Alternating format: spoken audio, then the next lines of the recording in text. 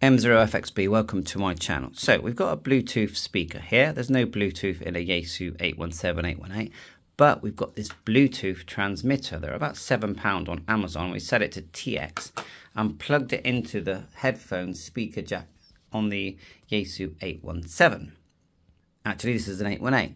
So let's now turn on the Bluetooth sender. That should start flashing. Just hold it down starts to flash. Now we turn off our Bluetooth speaker. Now remember, you can buy these for just about £5. So hopefully they've paired and listen.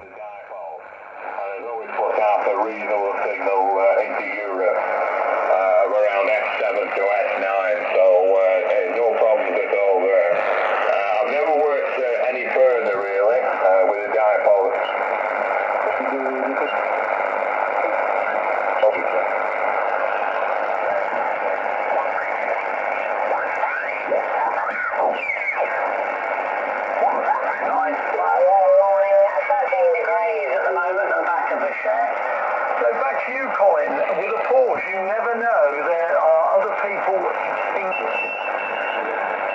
And control the volume in the normal way. It's such a small speaker, it's going to distort, but you can buy a big speaker, you know? I use this one a lot for experimentation.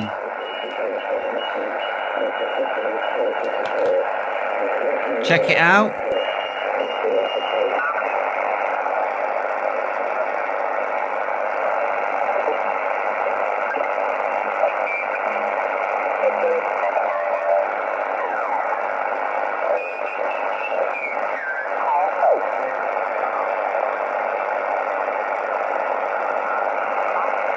Bye for now, 7-3.